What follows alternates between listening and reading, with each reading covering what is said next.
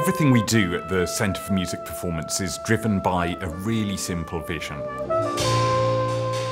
If you're a student at Cambridge, we want you to have the opportunity to make extracurricular music a part of your life, regardless of what subject you're studying, regardless of what kind of music you're into, and regardless of how much music you've been involved with before coming to university.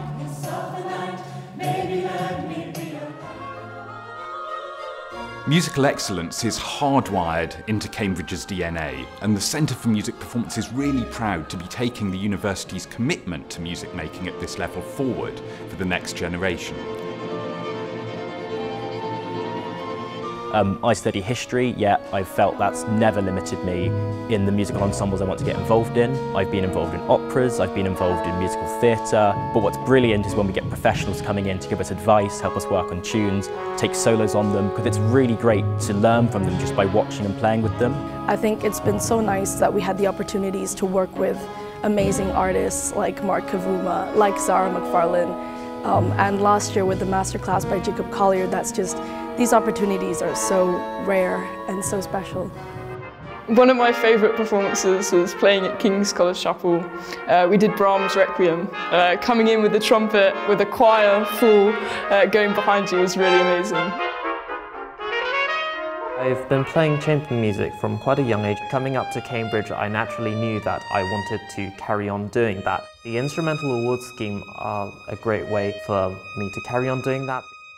Cambridge today is an incredibly exciting melting pot of talented people from all over the world and from the widest imaginable range of cultural backgrounds who've had massively differing levels of access to musical opportunity before coming to university. The breadth of the musical scene here today reflects that. I've always had a little bit of a fantasy of playing drums, so this has been an exciting chance to kind of get my feet wet in that area. Last term, Music Production Society organized many different speakers. One of them was uh, Manon Dave, who worked closely with uh, will.i.am, and that was really helpful in terms of getting the professionals sharing their experience and uh, us being able to learn from people working in the music industry. The most important reason why Cambridge has established the Centre for Music Performance is simply that we believe in the value of music as part of a rounded education. And we believe music's a great way to develop valuable soft skills, the ability to listen, to work with others, to take a lead, to appear confident under pressure, and to work at something until it's the very best you can achieve.